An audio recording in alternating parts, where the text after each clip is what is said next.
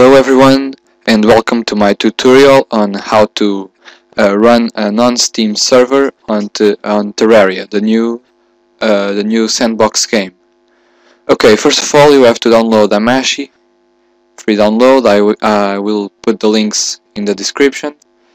Then you have to download uh, Terraria Retail non-Steam. So I, I will have the link for this, it's a torrent, you just click download torrent, okay and you you must have PowerISO PowerISO no I'm sorry uh, utor uTorrent to download everything. So when everything is downloaded uh, go ahead and install uh, install uh, Hamachi. You will, you will have Hamachi here. Uh, go to network. This is red but this is Portuguese. This is my default language. Cre uh, create new network. Network ID let's put okay Terraria net network okay. Uh, password let's put area or something. Oh this network already exists. Network uh, 23 something.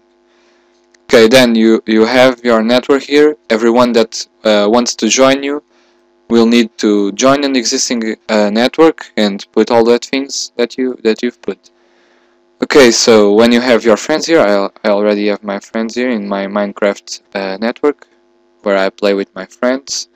Okay, when uh, Terraria is downloaded, it's only 5 megabytes, so it's, it's pretty fast. Go to where the folder is. Okay, Terraria Retail, it should look like this. You will have all these, these contents. Uh, go to new, new folder, and make a folder named Terraria copy all this stuff there. Okay wait that time it's, it's fast. Now open this up and you you will see .NET fx40 full setup. Run this and install. I already have this installed so just oh oh just in, install it normally like you, you, install everything. And this one to xnafx40 redist okay install this this stuff and then you will have Terraria just uh, go ahead. And now uh, to make a server you, you have to do one thing. Go in your search bar and put firewall Windows firewall. Okay uh, active I uh, know where was it? Where was it? Where was it? Where was it? Oh yeah. Uh, ad advanced definitions. Okay. Yeah enter rules I guess. Mine Portuguese, new rule, maybe, new exception, I think it's exception. And there you have, you have program, uh, door, believe, port, yes, ports. It's ports, TCP port, local port. And uh, now you have, I have to check this out here, but it's, you have to forward the 31337 port in here. So you put 31337, next, allow connection, blah blah blah uh, okay name. Terraria Terraria next network. Okay and then you you make you conclude it here. So I will not because I already have my Terraria network. Around here around all these all these ports that, that I forward then close the firewall. And now here comes the tricky part. Okay so close all this stuff. Now you will have to run Terraria Let's allow it to run. Carry logic. Uh, run all this and multiplayer.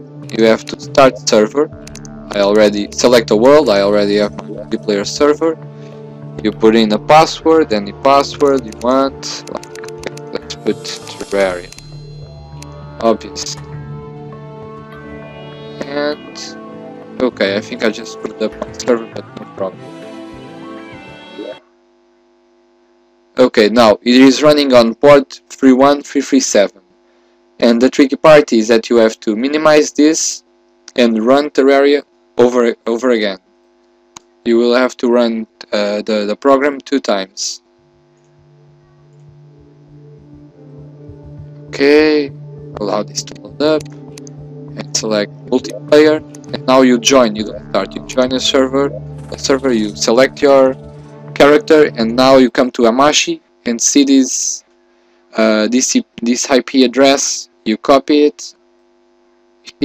Okay so 5.186.28.15.62 okay then accept.